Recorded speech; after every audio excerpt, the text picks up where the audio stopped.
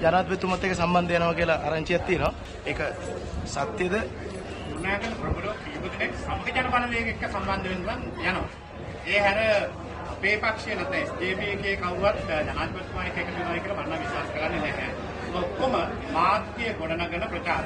ඒ හැර ඒ පිටපත්කාරය අර ඔබතුමා විශ්ව ශක්තිය සම්බන්ධ ප්‍රකාශයක් කරා. ඒක පොඩ්ඩක් අපිට පැහැදිලි කරගන්න පුළුවන්ද? ඒක දේශපාලන වේදිකාවේ කියවුණු කතාවක් විතරයි. ඉතින් ඒ ඒ ඒ යන්නේ තමයි අහන්න ඕනේ කියපේ කරගෙන. මොකද මම දන්නේ නැහැ.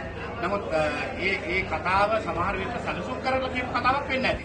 මොකද ඒ ඒ කිව්වහම ඒකට ලොකු ප්‍රචාරයක් වුණා. ඉතින් මටත් හිතා ගන්න බෑ ඇයි නාදුන පුද්ගලයෙක්ගේ කතාවක් ඒ ලෙසට ලොකු ප්‍රචාරයක් දුන්නේ කියලා. ඒ ප්‍රචාරයෙන් අපිට පේනවා යම් විදියක ආණ්ඩුවේ න්‍යාය පත්‍රයක් ක්‍රියාත්මක කරන්න තමයි අපි එකිනෙකා එකිනෙකා හවුල් කරගෙන මේ මඩ ගැසීම කරන්නේ කියලා. ඒක නිසා ඒක ගැන අපි ගණන් ගන්නේ නැහැ. කොහොම වුණත් මම එකක් පැහැදිලිව කියන්න කැමතියි.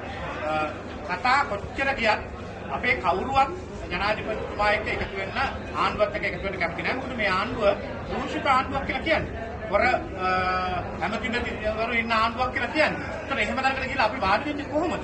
ඒ නිසා අපිට එහෙම බාර ගන්න ඕන නම් බාර ගන්න තිබුණා සති ප්‍රේමදාස මහත්මයාට ගෝඨාභය රාජපක්ෂ මහත්තයා ආරාධනා කරපු වෙලාවේ. ඒ නිසා අපේ කවුරුත් කොහොමත් කියන්නේ අපි ඉන්නේ සජිත් ප්‍රේමදාස මහත්මයාත් එක්ක කියන එක පැහැදිලිව කියනවා. අසූචි පොහොර නැව වෙච්ච දෙයක් නෑ නේ එමතුවා. ඇත්තටම මේක බරපතල අපරාධයක්. විශේෂයෙන්ම ඒ පොර නැව ගෙන්වීම පිළිබඳව ලොකු විරෝධයක් සහ කතිකාවක් තිබුණා. නමුත් අවසානයේ සිද්ධ වුණේ ඒ චීනෙන් ගෙනාපු අසූචි පොර නැවට ලංකාවෙන් වන්දි ගෙවුවා. රුපියල් ඩොලර් මිලියන 6.9ක්. ඒක ලොකු මුදලක්. කොටි 200කට වඩා මුදලක්. දැන් අවසානයේ මොකද වුනේ? දැන් අද වෙනකොට ඒ අපිට වන්දියක් ගෙවලා සල්ලිත් අපිට නැති වුණා. පොරත් අපිට නැති වුණා. ඉතින් මම දැක්කා අද මාධ්‍යයේ පළ වෙලා තියෙනවා මේ පිළිබඳව විදේශ අමාත්‍යාංශය හරහා යම් ආකාරයක පොර ටික ආපහු ගෙන්න ගන්නවත් කිසිදු උනන්දුවක් කුෂිකර්ම අමාත්‍යාංශය නැහැ කියලා. ඉතින් අපි අහනවා මහින්ද අමරවීර ඇමතුමාගෙන් කරුණා කරලා කෝටි 200කට වඩා අපි වන්දි ගෙවලා උහුරක් නැතුව ඉන්නේ මේ මොහොතේ ඇයි රාජතාන්ත්‍රික ක්‍රමවේදයක් පාවිච්චි කරලා මේ වෙනුවෙන් උහුර ටිකක් හරි නැවත ගෙන්න ගන්න උත්සාහ නොකරන්නේ. මොකද මේ වගේ පවිස් තියන වෙන්න පුළුවන්. දැන් මේ උහුර නැව ඇනවුම් කරපු සමාගමේ කළමනාකාර අධ්‍යක්ෂකවරයා මාලිමාවෙන් තරඟ කරනවා බත්තලට. ඒ නිසා මේ ප්‍රශ්නේ අරපත් කරන්න වෙන්න පුළුවන්. හැබැයි මේවා තමයි ජාතික අපරාධ. අපි අහන පුස්කාර පැවතුමාගේ තනින් තන තනින් තන කයිවාරු ගහන්නේ නැතුව මෙන්න මේ දේවල් විශ්ත ගන්න උත්සාහ කරන්න ගොවියෝ හුඟක් අසරණ වෙලා ඉන්නේ. කුෂිකර්ම අමාත්‍යතුමා කියනවා වීමිල රුපියල් 100ට ගන්නවා කියලා. හැබැයි තාමත් මෙහෙ විකිනේ රුපියල් 75. තෙල් බෙදීම ප්‍රශ්නයක් තියෙනවා. මොකක්ද ඒ? මේක සම්පූර්ණ බොරුවක් නේ. දැන් පුස්කාර පැවතුමා ඔක පාර්ලිමේන්තුවේ කිව්වා 100ට ඕන තරම් ගන්න සල්ලි තියෙනවා කියලා. මම දැක්කම අද අනුරාධපුරේ දිසාපතිවරයාට මුදල් නැතුව වහලා දානවා. මහනුවර දිසාපතිවරයාට ඒ මුදල් ගිහිල්ලා නැහැ. මේ බොරුවක්. රුපියල් 75ට එහා වී කිලෝ එකක් දී ගන්න බැරුව ගොවියෝ විශාල මැසිවිලි නාවුනා. මේක හරි අපරාධයක් නේ. මොකද ගොවියා කියලා කියන්නේ තාමත් අසරණ තත්ත්වයකට වැටලා තිබෙනවා. උණ්ඩ නිෂ්පාදන වියදමවත් ආවරණය වෙන්නේ නැහැ. මෙවන් අවස්ථාවක ආණ්ඩුව රේඩියෝ එකෙන් ගුවන් විදුලියෙන් පත්තර වලින් මේ මිලදී ගැනීම පැත්තකින් කියලා ප්‍රායෝගිකව මේ පළාත් වලට ගිහිලා මේ මිලදී ගැනීම වෙනවද නැද්ද කියලා බලන්න ඕනේ. එහෙම නොබලා මේ වගේ මිනිස්සු රවට්ටන්න උත්සාහ කිරීමේ ප්‍රතිඵලය තමයි මම දැක්කේ පහුගිය දවස්වල මහින්ද අමරවීර අමතිවරයාට විරුද්ධව දැඩි විරෝධයක් ගොවි ජනපදයකදී දක්වනවා. ඒ නිසා කරුණා කරලා මේ කතන්දර කීකියා ඉන්නේ නැතුව කොයි පළාත් වලට ගියා මේ මිලදී ගැනීම පිළිබඳව යම් වැඩපිළිවෙලක් ආරම්භ කරන්න කියලා විතරක් අපි කියන්න කැමතියි.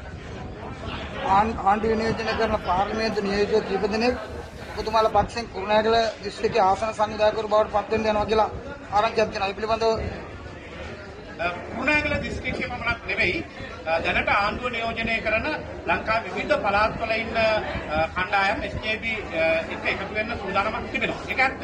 විශේෂයෙන්ම සජිත් ප්‍රේමදාස මහත්මයා එක්ක අශෝක අබේසිංහ මහත්මයා එක්ක තවත් කණ්ඩායම් එක්ක ඒ කණ්ඩායම් සාකච්ඡා කරනවා.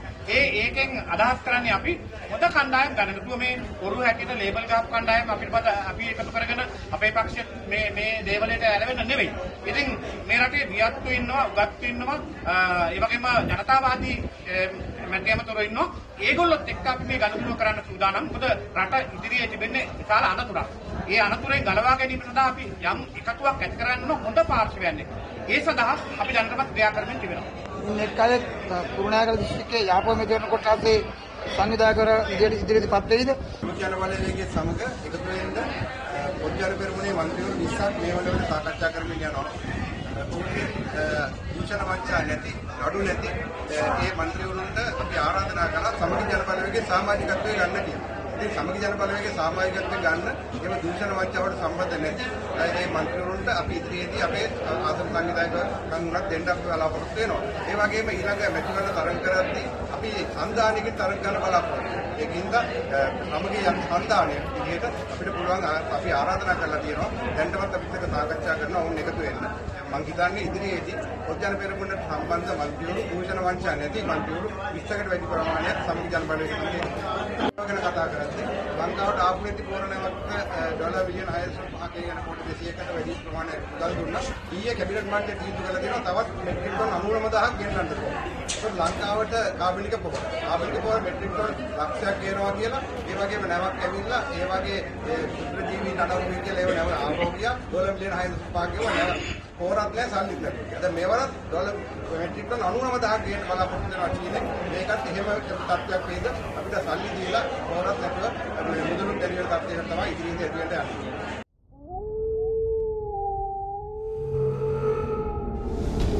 The News Reporter වාරණයෙන් තොර අපක්ෂපාති වාර්තාකරණය